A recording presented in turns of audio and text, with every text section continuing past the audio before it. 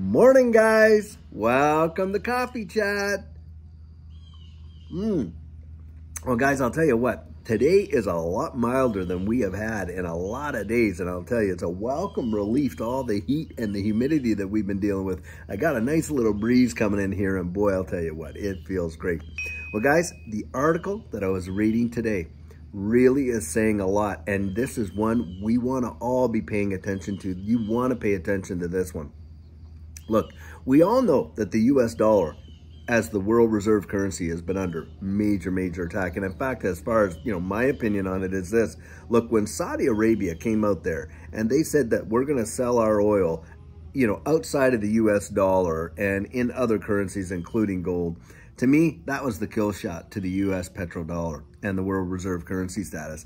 And I've always likened it as like, look, the, the petrodollar is dead. We just haven't had the funeral yet. Well, what's going on right now, guys, is an absolute nuclear expression of that right there. You got central banks, big time central banks going out there, and it's been reported in May, have been buying gold like no tomorrow and in a big way. And a lot of these central banks are ones that are lined up with these BRICS countries. Well, of course, we know that BRICS is coming out with their own central bank digital currency, and it's a currency that is backed by gold, and it's designed specifically to compete on the world stage with the credit-backed US dollar.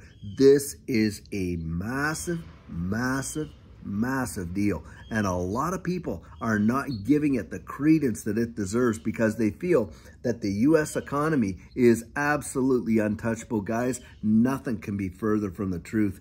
We are seeing the cracks in this system that are being exposed. Now they're, you know, they're, they're not just cracks, they're crevices. And eventually, guys, we are going to see an amazing amount of breakup in this whole system. And I'm telling you what, what's going on around the world, polit geopolitically, of course, and economically is literally changing the, the, the power structure that we have been a part of for probably the last 150 years. And new powers are emerging. New economic powers are emerging. And don't think that this could not cause global conflict in a major way. It can and more than likely will. It has happened every single time. Now, there have been a few transitions of that power where there hasn't been like major, you know, global conflict over it. Like, for instance, when the British pound lost its world reserve currency status to the US dollar, you know, we didn't see that. But in this situation right now, we know that we're in a major conflict with a lot of these countries that are joining BRICS, of course, because you got, you know, Brazil, Russia, India, China, and all those ones there. And of course, there we're having some major issues with some of these countries right now.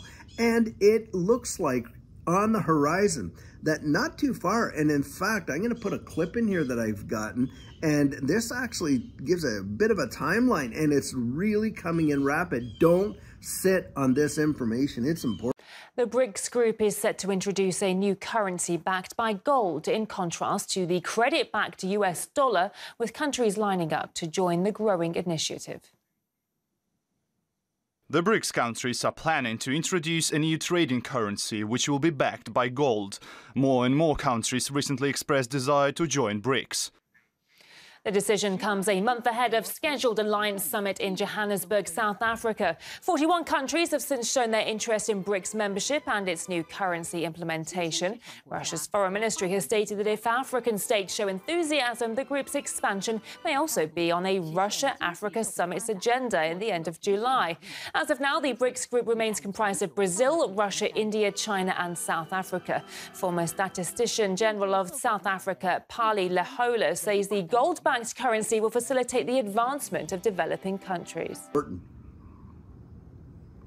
And the issue is this what can the average person do to really protect themselves from the tsunami of inflation when all these US dollars, the demand for US dollars outside the United States is far, far greater than it is inside, absolutely to be sure. And it was because of that world reserve currency status. Well, what happens when that demand is absolutely evaporated and those dollars come flooding back? Well, you're going to see hyperinflation inside the United States like you cannot even fathom. I mean, they have been printing and shipping trillions and trillions and trillions of dollars of value outside the United States. And here's a real kicker of a statistic. There are more $100 bills in Russia than they are right here in the good old USA. That tells you lots. Now, when that money comes back into this country, they just can't burn it and cause it to be evaporated just like that.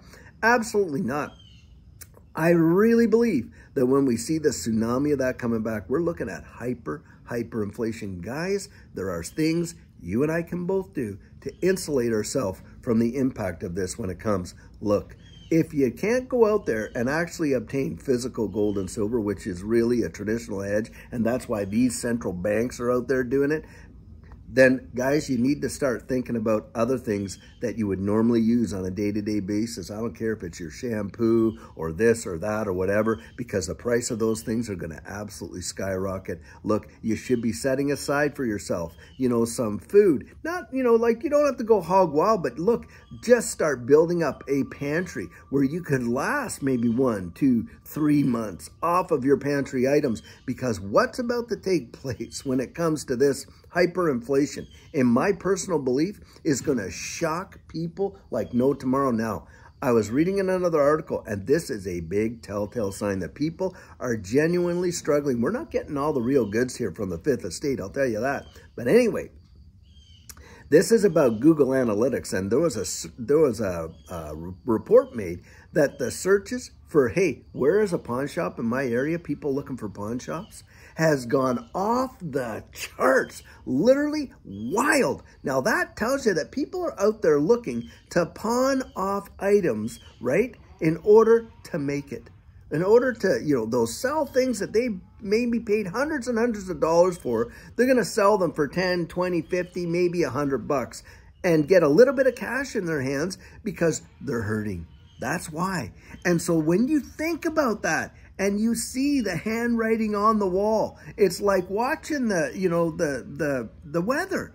Look, guys, if we see a big storm cloud over there and we can hear the thunder, we can see the lightning, the winds blowing, we can hear the rain coming, well, we know enough to get inside because, of course, the rain's on the way. And sure enough, bang, it hits. And in Texas, it's not just rain. A lot of times it's hail and there's, you know, a lot of damage can be get done, you know. So, of course, you get in, you bring your things in and all that kind of stuff, and you prepare and you protect yourself. What's coming? is a storm, a financial storm that most of us have no idea the severity of it. But there are economists out there that do, guys, they know these people that have been, you know, putting this whole thing together. Don't kid yourself. They know more than what most people or what they even suggest that they know. And why is that? They are not stupid, guys. They know you can't be printing money into the oblivion and you can't be dealing with global conflict to the degree that you are right now with other countries out there circumventing the SWIFT system that you used in the past as a major tool of punishment and sanction to get people to bend to your will. Now that's off the table, and people are going to be using central bank digital currencies backed by gold, and you got a number of nations signing up for this, some of which used to be our allies. I'm telling you, this is no small potatoes. This is a big deal. Most people are not even thinking about the consequences of what's coming. Prepare, guys.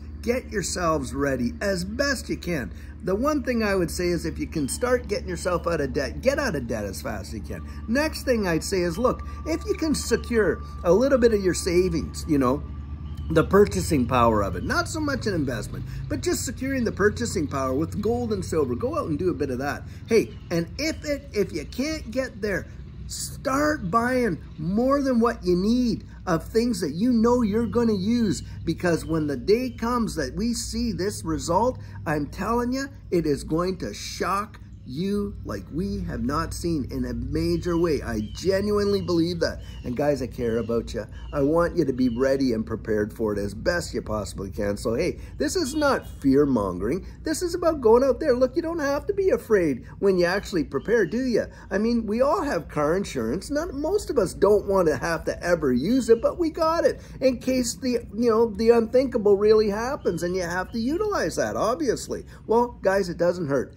get a little bit of insurance under your belt there for your family and for yourself and maybe a few neighbors if you're even able to do that. That's what I would say, but don't, do not play the ostrich when it comes to the information that we're seeing coming out like this because it is going to have impacts in a big way. And anyhow, guys, I'll tell you what, I really, really hope that you got my heart in that message, that I'm really just sharing that because I want you to be ready. I want you to be prepared and I care about you. And I'll tell you what, until later on today, when we have a fabulous video, I sure hope you have a great rest of your day. And until then, guys, take care.